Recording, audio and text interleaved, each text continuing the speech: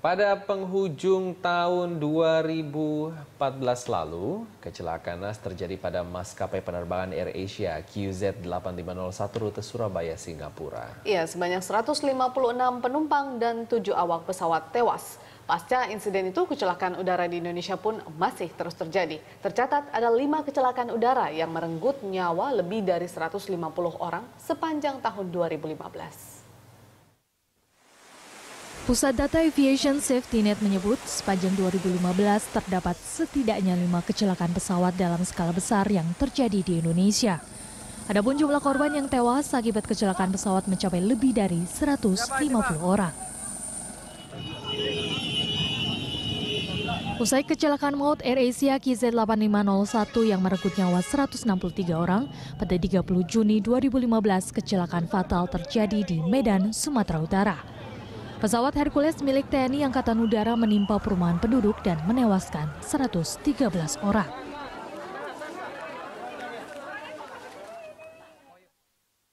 Menyusul pada 16 Agustus 2015, pesawat Trigana Air jatuh di bukit sekitar Oksibil, Kabupaten Bukit Bintang, Papua.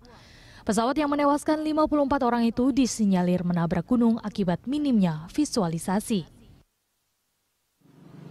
Kecelakaan pun kembali terjadi pada Jumat 2 Oktober 2015.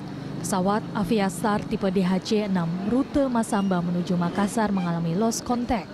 Tujuh penumpang dan tiga awak pesawat tewas dalam kecelakaan tersebut.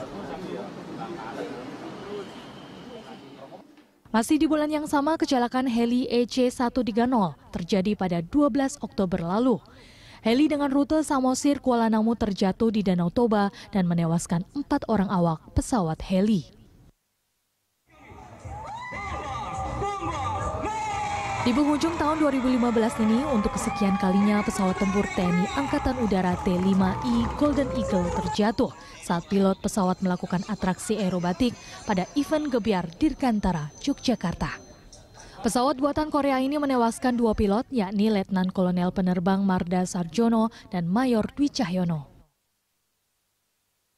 Dalam serentetan kecelakaan tersebut, beberapa di antaranya terjadi akibat maintenance atau perawatan mesin yang tidak berkala. Hal itu berakibat mesin tidak berfungsi maksimal, sehingga pesawat gagal landas dan lain sebagainya. Hal itu juga terjadi pada kecelakaan AirAsia KZ8501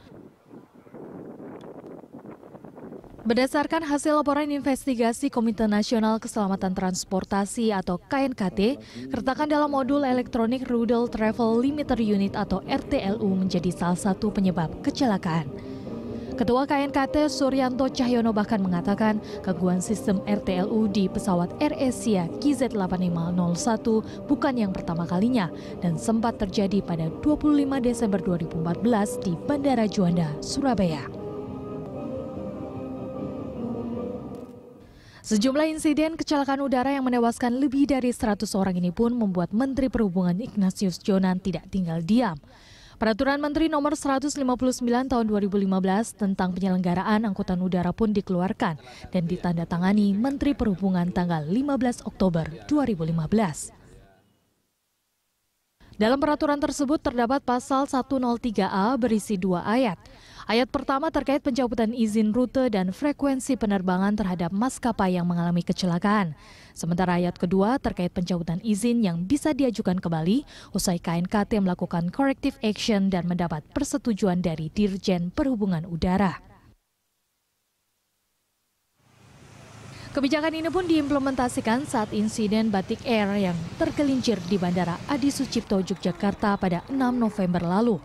Hanya berselang sehari, rute penerbangan Jakarta-Jogja milik Batik Air ini langsung dibekukan.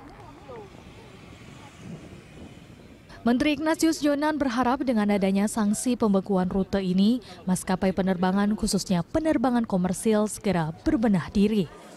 Sehingga manajemen maskapai tidak hanya mengejar sisi komersialisasi semata, namun juga memberikan perhatian serius terhadap keselamatan para penumpang beserta awak pesawat. Tim Berita すいません